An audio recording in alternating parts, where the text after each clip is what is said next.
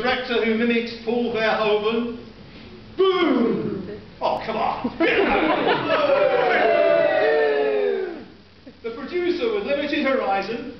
Boom! The critic with Twitter and poison pen. Boom! Stars who cross the earth and live in state, drain the nourishment from cinema. Boom! We all destroy the film we love. While we sad cinephiles salivate for servings of their sad charisma.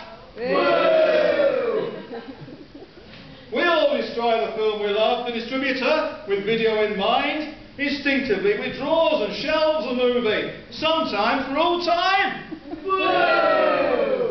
But the true killer sits in the stalls. One of those me generation gits who, tired of playing with his balls, Makes a racket opening crisps.